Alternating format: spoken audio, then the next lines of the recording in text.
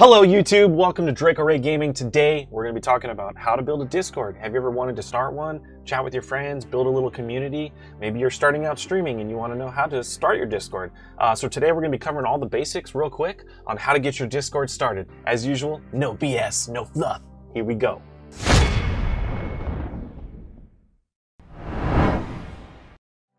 Welcome and first thing you want to do is obviously download the app. So go to discord.com Here's the link right here. Check it out. Go through some actually, like go through this page real quick because it actually really is helpful. You can just click download for Windows if you want. But, uh, you know, it kind of talks to you a little bit about Discord if you're unfamiliar with it. An invite-only place with plenty of room to talk. Discord servers are organized into topic-based channels. You can put voice channels, you can put text-only channels, things like that. Organize it how you want.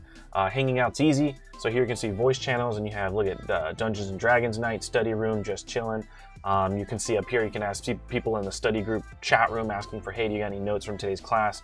Things like that. So it's not just gaming. You can actually set it up for all kinds of things. Movie night and streaming movies with your friends, things like that. But really cool stuff you can do.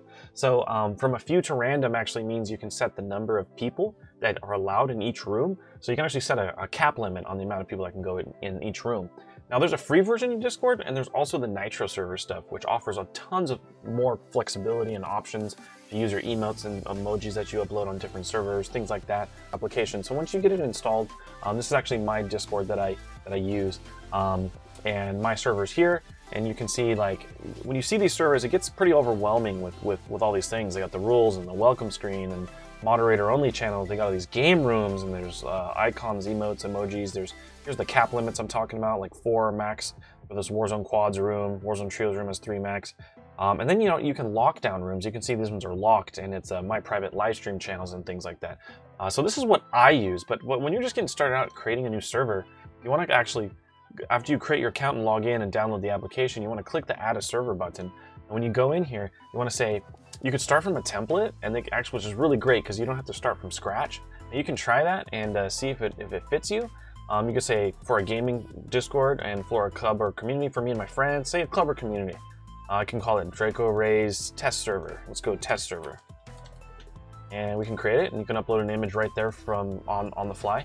And so what it does is it gives you a couple rooms to start with, like your general room, your clips and highlights room, your lobby channel, and your gaming channel for voice. And you can see voice here with the speaker on the left, and you can see the hashtags ones that are chat only rooms. Uh, when you join these ones, you'll obviously see uh, me in there. You can mute yourself, deafen yourself, do a few other options.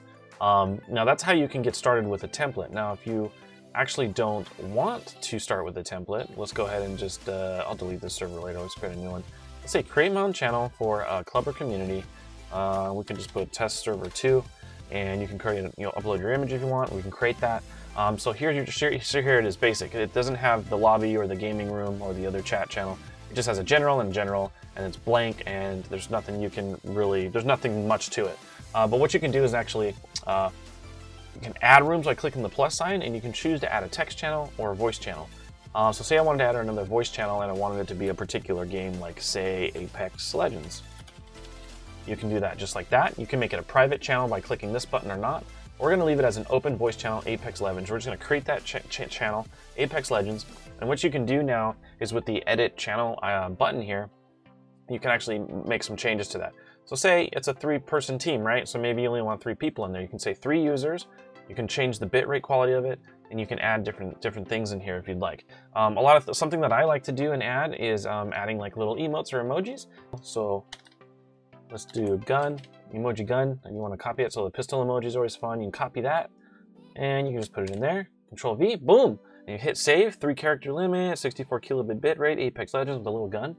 Hit save, hit escape, and now you got a nice, cool room that's open for people to play Apex Legends in with like a three uh, limit person to it um, uh, team. And so you can create all these voice channels kind of like I did on my server, right? So I just kept adding game rooms and emotes and, and adding the amount of people that I wanted to be allowed in there. And I kind of, and I can even change the title of the category here. So if we go back to my test server, uh, you can set up voice channels. I believe you can actually edit the category and you can actually put game rooms and we'll hit save and we'll hit escape. So now I have a game room section, which is great. Um, and if you ever want to go back and make a channel private, uh, I think you can go to permissions and then private channel. And when you make a channel private, um, what you can do is actually add members and roles. Let me actually go back to my server since this one doesn't have any members right now for our test server. If you go into my server um, and say I wanted to lock down this AFK room, you can go to edit channel, uh, we can go to permissions, we can go to private channel. And what I can do is actually add uh, members or roles to this channel on who are allowed to actually do things inside of here. So I can actually go to any one of the people that are in my server and I can add them in there. And depending on what role they have, um, you can set, you know, who's allowed to actually use this room. So I have different roles set up like Draconian Army and uh, members, uh, moderators. And so you can add the role that you need to actually be inside of this room and be able to manipulate that room. And um, anybody with that role, say, um, you know, moderator, uh, now moderators can enter this private room, and if they're a moderator, you can choose what they're allowed to do and what they're allowed to not be able to do uh, using this hash, this X and this mark here. So um, I can say yes, they can do it, or no, they can do it, uh, different things like that. So those can seem a little overwhelming, but they're they're really not. Um, and what what what really helps with it is to have full control over the rooms, who can go where, who can do what, right? And so if you're starting, if you're just starting off, and we're going back to our test server, um, we've already made a, a, general uh, a gaming room uh, with a general chat. You can even change this, say, to lobby. It's very easy. You can say save. And so now we have a lobby chat channel and we have Apex chat channel. In our game room section, we have text channels. Um, you can change this one, say, to a welcome page or rules, actually. Rules is really good. So you can do rules. And what you can do is post your actual rules, rules in here and lock it down. So like a lot of people will lock this channel down uh, for the server uh, moderator only. They'll lock it down and they'll save it. And then just the actual server owner here is us.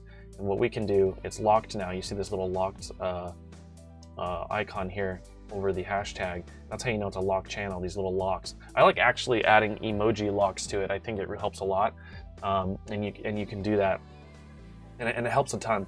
Um, if you want to go to your main server settings, you can actually go up here and you can rename your server, upload your image, choose your server region. Um, you can create those roles that we were talking about, add colors to them. So, which is really great. You have to have members, obviously, and once there's members in, in your in your server, you can add those roles. Let me show you another example on my personal server. Go to my server settings. We'll go to uh, let's see, roles. So you can see the roles here on the left-hand side. We have a lot of bots, the army members, moderators. So you can choose a color for that role, like this one's purple currently, and then choose what they can and can't do, right? So like Draconian Army members can do certain things that, uh, like say a member or a moderator can't do. You can just turn on and off all those features for that role. And then what makes it easy now is when you have those rooms uh, and you click edit channel permissions, you can assign that role to those rooms, lock them down, set it up however you want to, which is really, really, really cool. So uh, I just wanted to make a quick video on the basics of how to kind of like start making rooms, start making your chat channels. Um, you can use mine as an example. It's not the greatest, but a lot, I took it from examples of different streamers and pros and other people I know at Discord. So I started out with a rules and moderator only channel where I post things and updates for uh, people like community updates and rules for the server channel. Uh, we have all our video, our voice chat game rooms with all the emojis and emotes loaded. Um, there's a lot of cool other cool things you can do. Um, even uploading uh, your own emotes and things and emojis that I've, I've, I've started recently adding here. And if you want to be able to use those on other servers, you'd have to upgrade to a Nitro server. So there's certain things you'd start to see where I say, hey, maybe I would like to pay for a Nitro server, have increased features and things like that. But just starting out though, there's a it, the free is absolutely fine. There's a tons of things you can do. This is a free one here. I don't I don't pay for this. Um, we have a general room where we chat and we have uh, different memes that we post and uh, our PC specs. We'll have uh, our loadouts and, and, and, things like that for games we play. It's all really, really cool. And then I have my lockdown room for when I live stream so nobody jumps in and accidentally starts saying something across my stream I don't want them to say or anything like that. So I really hope this video helped you guys out. Please remember to like, comment, and subscribe. Click that notification bell. We have a lot of fun on the live streams. Comment down below. I would love to see what you want to see next on this, like a part two, or any questions you guys have. I'll try to answer all the comments I can. I'm Draco Ray Gaming, and I'm out of here.